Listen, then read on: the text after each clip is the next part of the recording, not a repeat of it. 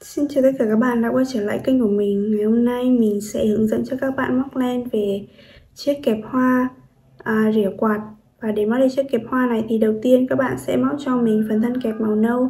Phần thân kẹp này thì các bạn sẽ móc cho mình lên 13 bính Sau đó các bạn lên cho mình ba hàng. Tiếp tục chúng mình sẽ móc phần thân.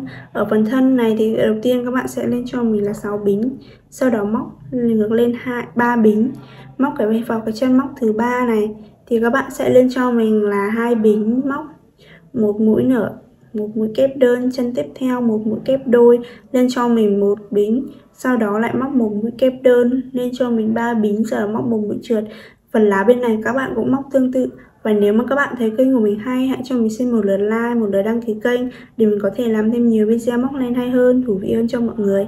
Và bây giờ thì chúng mình sẽ cùng bắt tay vào làm chiếc kẹp tóc này nhé. Nguyên vật liệu cần chuẩn bị gồm có một con len màu nâu, một len màu xanh, kim móc len, kim khâu len, một cây kéo.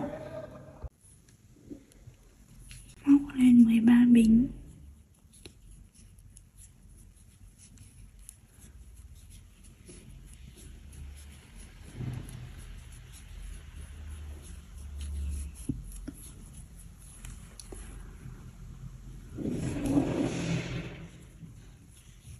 Móc cho mình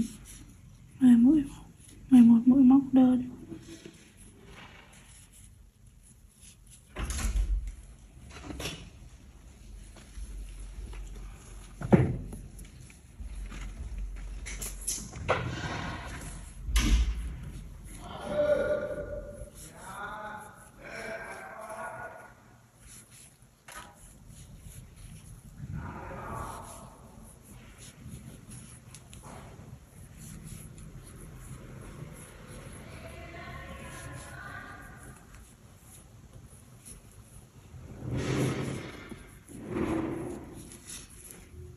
móc rồi các bạn móc cho mình.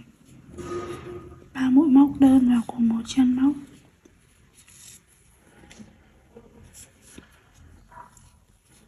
Tiếp tục móc 10 mũi móc đơn.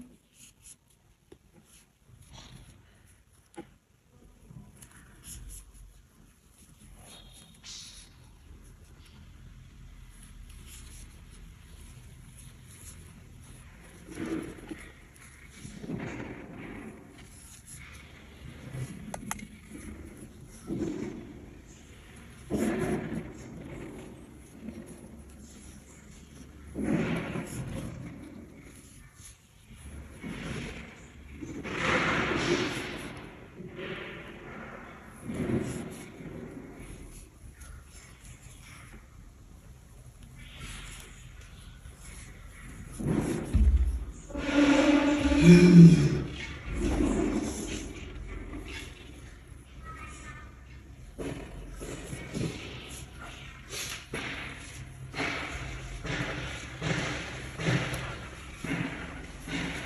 hai mũi móc lên cùng một chân móc lên.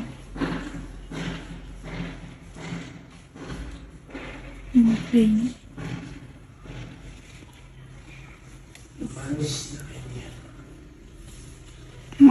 một móc đơn vào cùng một chân móc.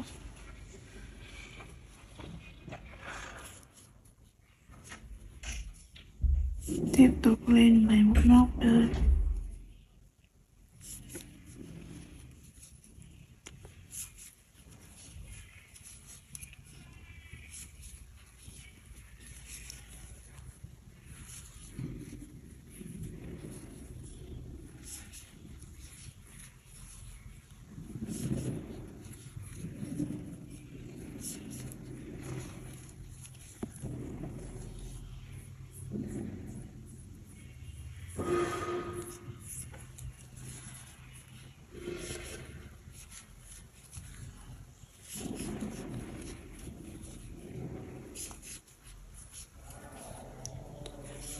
Ba chân móc cuối mỗi chân móc các bạn móc cho mình hai mũi móc đơn vào cùng một chân móc.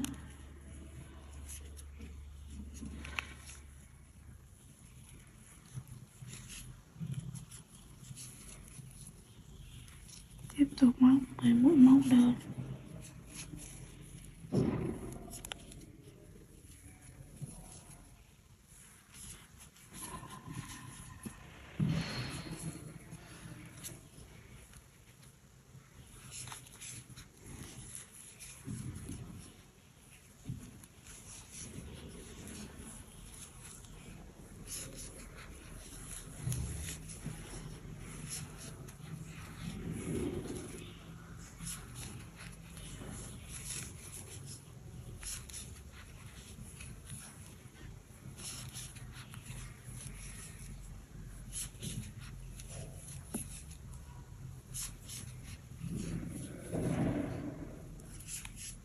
Hai chân cuối mỗi chân móc, các bạn móc cho mình hai mũi móc đơn vào cùng một chân.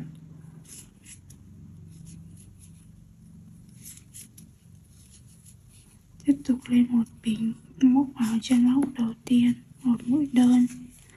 Chân tiếp theo, hai mũi móc đơn vào cùng một chân. Tiếp tục lên 10 mũi móc đơn.